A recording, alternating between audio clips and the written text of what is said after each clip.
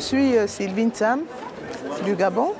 Je suis d'abord écrivain et par la suite je suis devenue éditrice. Donc je suis installée au Gabon où je, en tant qu'auteur, j'ai 10 livres à mon compte. Maintenant, en tant qu'éditeur, notre maison d'édition compte plus de 153 titres. Nous faisons dans la littérature, dans le livre jeunesse, euh, BD, essais et le livre scolaire. Et nous, sommes, euh, nous existons depuis 2010.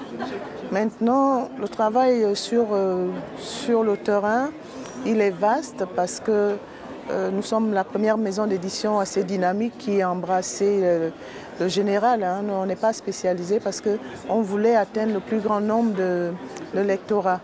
Et aujourd'hui, nous sommes aussi diffuseurs de nos œuvres au niveau du Gabon. Donc sur euh, l'étendue du territoire, on peut dire que on, peut à 70% de, notre objectif de distribution. Maintenant, je suis membre de l'Alliance depuis 2017. Et euh, le fait d'être membre de l'Alliance, d'abord, euh, c'est de remercier l'OBF, parce que c'est à travers l'OBF que j'ai rencontré l'Alliance. C'est lorsque nous avions été en 2016 invité par l'OBF pour le Francfort que j'ai fait la connaissance de l'Alliance. Et depuis que je suis membre de l'Alliance, je suis déjà informée de tout, de tout ce qui se passe dans l'édition. Et euh, ça m'a permis d'améliorer le travail au niveau des éditions, parce que quand je vois ce que les autres font, et moi, n'ayant pas une formation d'éditeur, je suis... Euh, fonctionnaire. Donc le fait d'être dans l'Alliance est pour moi une école qui me permet de bien travailler, de, bien euh, organiser mon travail d'éditeur. Et dans l'Alliance aussi, c'est une ouverture sur le monde. Parce que toute seule euh, au Gabon, mais aujourd'hui je ne suis plus seule, je sais qu'il y a 500, au minimum 550 maisons d'édition qui, qui, savent ce que je fais en temps réel quand, il y a quelque chose.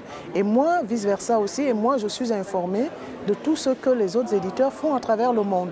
Et nous travaillons comme ça sur des sujets. Lorsqu'il y a un sujet euh, à l'Alliance, je peux le répercuter au niveau de mon travail, au niveau du Gabon.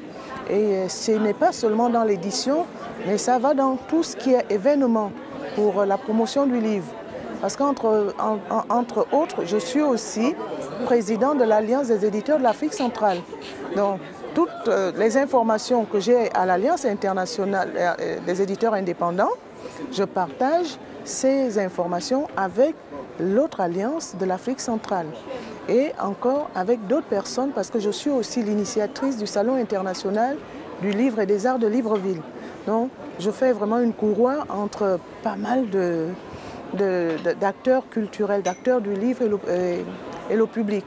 Et dans mes combats aussi, c'est d'amener aussi l'État à comprendre les différents problèmes des éditeurs en Afrique centrale, notamment à pouvoir trouver, à pouvoir faire une politique nationale du livre, parce qu'en Afrique, euh, tous les pays n'ont pas encore de politique du livre. Donc le travail de l'Alliance euh, internationale des éditeurs indépendants nous permet d'avoir un horizon ouvert sur tous ces problèmes-là. Donc c'est un avantage et je remercie donc l'Alliance pour euh, le, soutien aussi. Quand j'ai j'avais un combat sur le livre scolaire, l'Alliance euh, a, été là, ça a été mon soutien. Et tout ce que je fais aujourd'hui, quand je suis... Euh, on, a besoin de mes services sur l'édition, automatiquement, moi je, pose le, même problème à l'Alliance internationale à travers Laurence. Et on a pu écrire une politique, je, je, ne citerai pas le nom, mais elle-même sait de quoi je parle. On a pu écrire une politique grâce au soutien de l'Alliance des éditeurs internationaux.